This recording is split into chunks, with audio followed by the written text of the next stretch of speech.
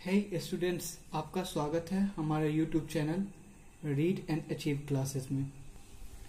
Students आज हम लोग पढ़ेंगे एक्सपोनेंट क्लास सेवेंथ की जो एक्सपोनेंट एक्सरसाइज है वो। स्टूडेंट्स आज हम लोग शुरू करेंगे सबसे बेसिक से, ठीक है? तो इसलिए आपने, अगर आपको कोई टेंशन लेना ही नहीं है क्योंकि हम बेसिक से शुरू कर रहे हैं। चलिए स्टूडेंट्स शुरू करते हैं अब।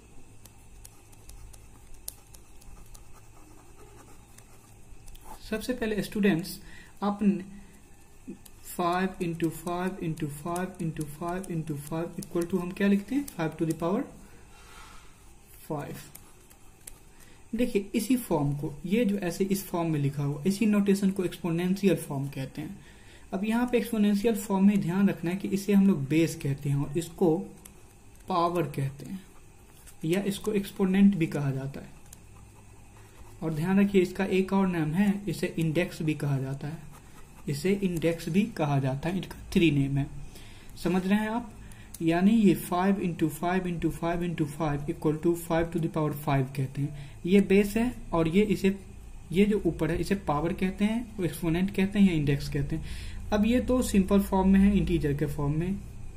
अब हम लोग एक फ्रैक्शन वाला भी लेते हैं टू बाई फाइव हो गया जैसे। Into two by five into two by five into two by five ये कितने टाइम्स है? फोर टाइम्स तो इसको हम लोग ऐसे लिख सकते हैं two by five to the power four अब इसमें ये टू बाई फाइव पूरे जो है, ये टू बाई फाइव देख रहे हैं आप? टू बाई फाइव ये ये हमारा क्या होता है? बेस और ये जो फोर है, ये फोर ये हमारा क्या है? पावर है, या इसको आप एक्सपोनेंट कहिए, या इंडेक्स भी कह सकते हैं, जो भी कहना हो आपको। अब इतनी तो आपको समझ आ आ गई कि बेसिक जो ये चीज़ है, इसी को हम लोग क्या कहते हैं? एक्सपोनेंट अब एक्सपोनेंट के बाद इसके लॉज हम लोग को पढ़ना होता है। मेन यही है। और देखिए, ये बहुत इंपॉर्टेंट है। लॉज ऑफ़ एक्सपोनेंट अगर आप इसको समझ गए तो आप अपने एक्सरसाइज के सारे क्वेश्चन सही तरीकों से सॉल्व कर पाएँगे, क्योंकि कोई प्रॉब्लम ही नहीं रहेगी जब आप लॉज इसका समझ जाते हैं तो। सबसे पहली लॉ जो है एक्सपोनेंट की, वो है सबसे पहली लॉ की मैं बात कर रहा हूँ एक्सपोनेंट की, वो ये है कि ए बाय बी का पावर अगर आपके पास क्या है? ए बाय बी का पावर एम है और ये इनटू में है। फिर से ए बाय बी का पावर क्या है आपको? एन है।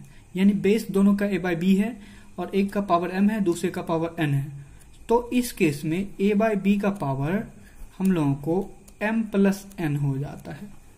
अब ये रूल ये कहता है कि पावर एक्सपोनेंट का जुड़ जाता है अगर दो एक्सपोनेंट का बेस सेम हो, जैसे ये एक्सपोनेंट ए बाई बी है बेस इसका भी ए बाई बी है।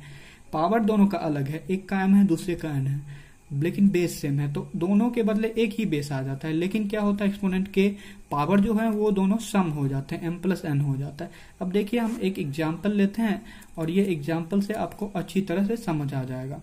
सबसे पहले हम लोग लेते हैं two by five to the power three into two by five to the power seven देखिए, दोनों का बेस सेम है और दोनों है किसमें? प्रोडक्ट में, गुना में।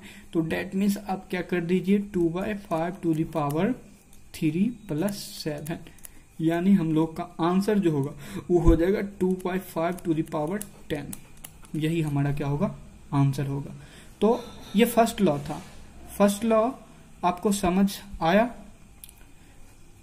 आशा करता हूँ कि आ गया होगा। चलिए अब मैं इसकी एक्सपोनेंट की फ़र्स्ट लॉ ये थी, अब सेकेंड लॉ के बारे में बात करता हूँ। देखिए ये सेकेंड लॉ जो है, ये जस्ट ए बाय बी का पावर हम लोग के पास एम है और डिवाइडेड वाई है। किससे? ए बाय बी के पावर एन से। यानी दोनों के बीच बेस से और डिवाइड का साइन हो। तो ये हो जाता है ए बाय बी का पावर एम माइनस एन समझे स्टूडेंट्स अगर ए बाय बी का पावर एम हो और उसको डिवाइड कर दें ए बाय बी का पावर एन से तो ए बाई बी का पावर एम माइनस एन होता है। अब इस रूल में ध्यान रखिए कि बेस अगर सेम रहे और क्या रहे डिवाइड में रहे तो क्या होता है? एक्सपोनेंट का जो पावर या एक्सपोनेंट कहिए उसका सब्सट्रैक्शन हो जाता है, घटाव हो जाता है। एग्ज़ाम्पल के लिए देखिए। थ्री बाई सेवन का पावर हमारे पास नाइन है। इसको डिवाइड कर देते हैं हम लोग। थ्री बाई सेवन के पावर फोर से तो हमारा रिज़ल्ट होता है three by seven to the power nine minus four equal to three by seven to the power five three by seven to the power five क्या होता है? हमारा आंसर होता है। आए समझ? चलिए, अब हम इसके बाद, और ये सिंपल भी हो सकता है, ऐसा नहीं है। जैसे सिक्स का पावर भी नाइन है, हमेशा फ्रैक्शन के फॉर्म में ही नहीं हो। सिक्स का पावर जैसे सेवन है।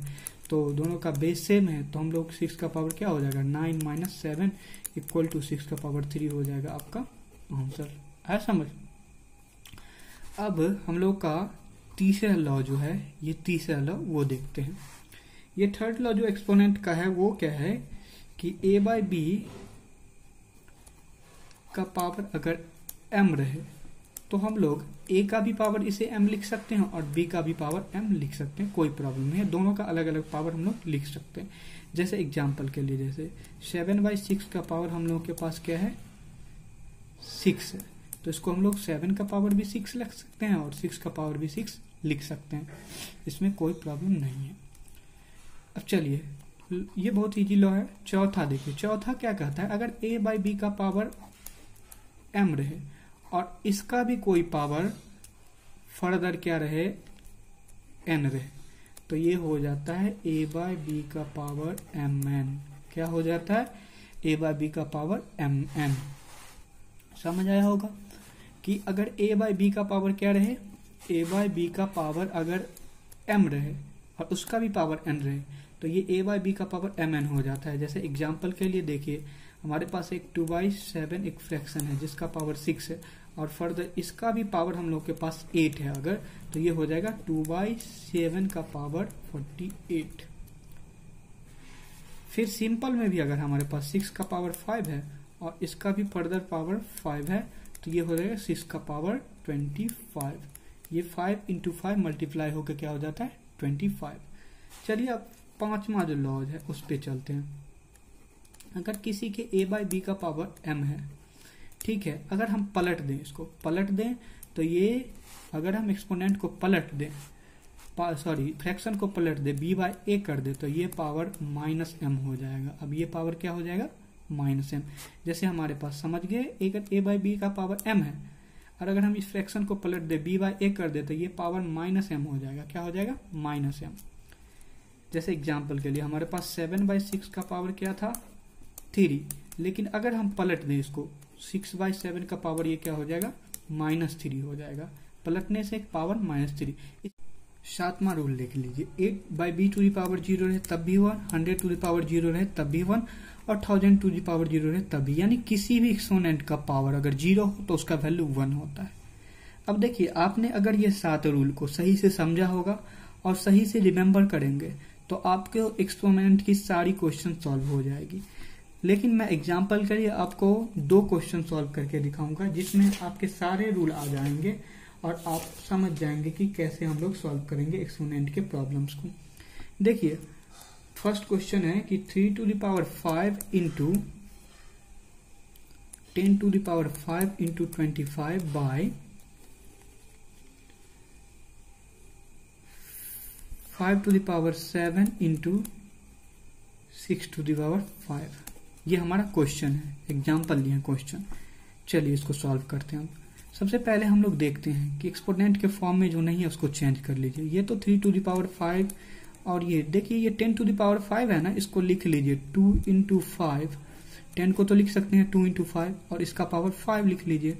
और इंटू ट्वेंटी फाइव को क्या लिख लीजिए? फाइव का पावर टू बाय इसमें नीचे में जो है, इसको फाइव टू दावर सेवन लिख सकते हैं और इसको सिक्स टू दावर क्या लिख सकते हैं? फाइव कोई प्रॉब्लम नहीं। अब देखिए, ये इसको क्यों लिखे ऐसे? तो देखिए, ये रूल है। थोड़ा सा मैं तो आपको इधर समझा दे रहा हूँ इस रूल को कि अगर आपके पास कोई ए बी का पावर फाइव रहे तो इसको आप ए का भी पावर फाइव लिख सकते हैं इंटू बी का भी पावर क्या लिख सकते हैं? फाइव लिख सकते हैं। तो यही हमारा टेन ये ए बी के फॉर्म में है तो हम लोग इसको ऐसे लिख लेंगे three to the power five into two का भी पावर फाइव लिख लेंगे और फाइव का भी पावर फाइव लिख लेंगे। Into five to the power two तो पहले से है। बाई क्या हो जाएगा? Five to the power seven into six to the power five अब इस स्टेप में भी एक रूल है दोस्त। अगर अगर ए का भी पावर फाइव रहे और बी का भी पावर फाइव रहे तो इसको हम लोग क्या कर सकते हैं? ए बी का पावर फाइव लिख सकते हैं, ठीक है? इसी का उल्टा, जैसे यहाँ ए बी का पावर फाइव था तो एक इंटू इस दोनों को ए का पावर फाइव इंटू बी का पावर फाइव लिख सकते थे। उसी तरीका से इधर अगर ए बी का पावर ए का भी पावर फाइव रहे बी का भी पावर फाइव तो इसको ए बी का पावर फाइव लिख सकते हैं। तो चलिए, यहाँ वही हम लोग करते हैं। थ्री इंटू टू का पावर हम लोग फाइव लिख सकते हैं। इंटू यहाँ पे फाइव और देखिए फाइव बेस सेम है, अब पावर अलग अलग है। तो जोड़ दीजिए, क्योंकि मल्टीप्लाई में है तो फाइव अब फाइव प्लस टू कितना हो जाएगा? सेवन बाय फाइव का पावर सेवन इंटू सिक्स का पावर क्या हो जाएगा? फाइव इक्वल टू देखिए यहाँ से। सॉरी ओह सॉरी देखिए यहाँ से समझा देता हूँ, ध्यान नहीं गया मेरा। अब मैं ध्यान दिया हूँ। देखिए यहाँ इस फॉर्म में चेंज कर लिए। अब इसके बाद ये three to the power five और two to the power five को एक साथ करके हम लोग लिख लिए। थ्री इंटू टू का पावर फाइव और ये फाइव का पावर फाइव जो था, और फाइव का पावर टू इस दोनों को सम करके लिख दिए तो फाइव का पावर सेवन हो गया। ठीक है फाइव प्लस टू सेवन नीचे में फाइव का सेवन पहले से है फाइव का पावर सेवन और सिक्स का पावर फाइव पहले से ही है। ये five to the power seven और five to the power seven cancel हो गया। नीचे देखिए यहाँ से six to the power five क्योंकि three to six to the power five और ये हो गया सिक्स टू दावर फाइव और ये दोनों क्या हो गया? कैंसिल नीचे में भी वन पॉइंट हमारा आंसर क्या आ गया? वन तो आशा करता हूँ कि आप इस एग्ज़ाम्पल के साथ एक क्वेश्चन मैंने इस सारे थ्योरी के साथ ये क्वेश्चन भी आपको समझा दिया और आप समझ गए होंगे। और मैं एक, आपको एग्ज़ाम्पल के लिए एक क्वेश्चन और ले रहा हूँ ताकि आपका थोड़ा सा सारा कुछ क्लियर हो जाए। चलिए, मैं एक क्वेश्चन ले रहा हूँ। ये एग्ज़ाम्पल नंबर टू आपके लिए। वो ये है कि minus two by three to the power seven minus 2 to the power 3 to the power 4